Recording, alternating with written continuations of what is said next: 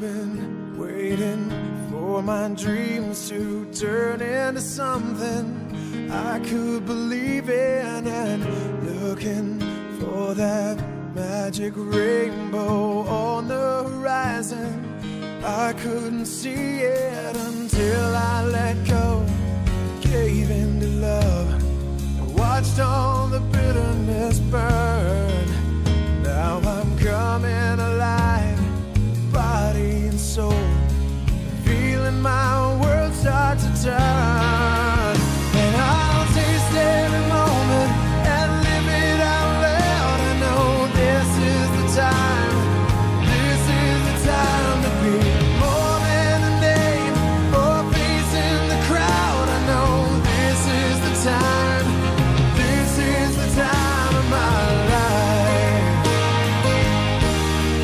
time of my